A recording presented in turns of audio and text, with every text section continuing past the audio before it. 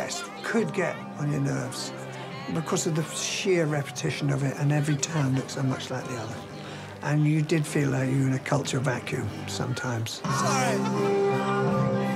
All we have is bad televisions, uh, vibrating beds, even worse. It's great. I, I quite enjoy all this battle, you know, between um, ABBA and whoever, you know, ex, no, whatever, you know. Where it's going to be or what it's going to be, I don't know. Yes, I think it's going to be a, a song, a piece called Shove It. Yeah. Is that it? I'm not sure. I've just written this new one, which I'm really excited about. And uh, I don't know, could do it. I mean, he was, uh, we worked at, I even contributed a tiny bit towards it. So what can I say? What can I say, Gary?